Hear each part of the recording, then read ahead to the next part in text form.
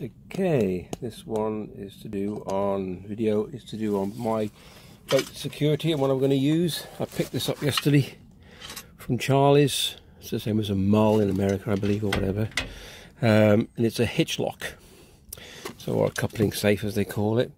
15.99. I'm going to argue with that, and it comes with a padlock. Padlock's not the best in the world, but I'm not going to argue. So, get him out. I'll show you it fits and the box falls apart. I'll put him on there. So that comes with it. This does not. These are four padlocks.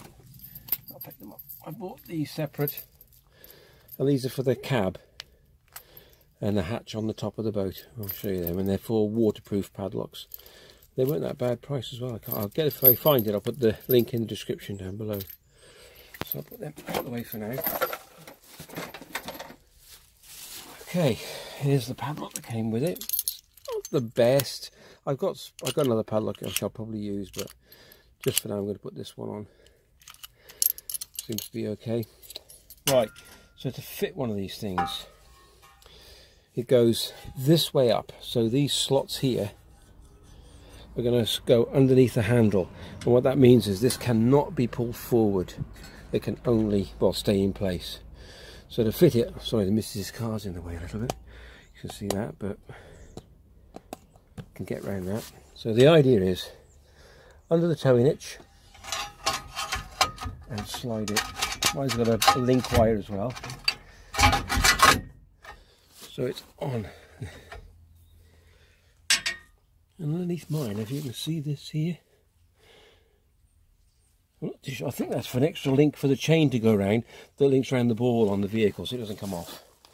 So that's quite good really and they, they made a, a slot for that as well. So a bit of jiggery pokery and it goes right over and then slide your bar in it can go either way up it doesn't matter which way I'm going to put it upside out, oh, I say upside down until it comes through the side and you'll see the holes line up there. So if it's, if it's a bit loose fit and it can go any further on, you'd put it in this one. But I mean, you could actually put it in that one. So the handle's in a lock position. I'll have a little go at that now, just to see if it fits. Let's have a look. Two seconds. So the more secure, the harder you make it for anybody to get in, suppose the better. So let's lift the handle up. Oh, I don't know if it's going to fit because it's... No, it's not going to work because the bolt's in the way. I can't go any further forward than that. Just try. Again, just to make sure. No, it's not going to... Unless I can lift that higher. No. So, same with the original plan then. Through, line it up.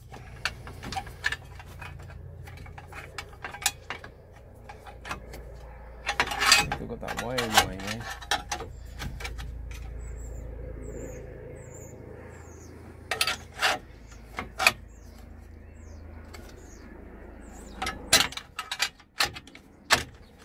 That's him.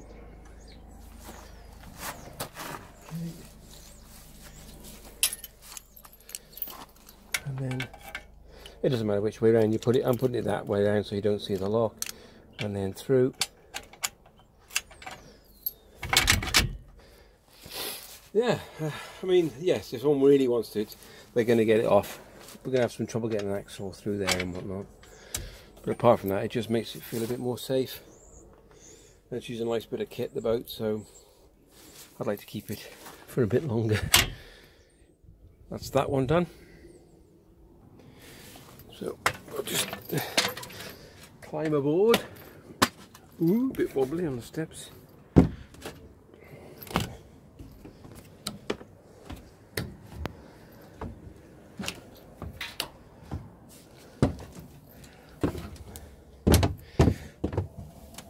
So I've got altogether four to put on, which is this one, which is the battery case.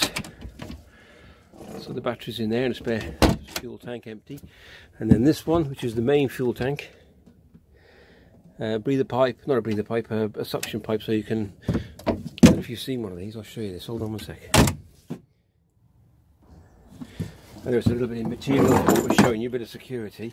But this is a um, wobble hose, I think they call it. Ball bearing in there, shake it up and down.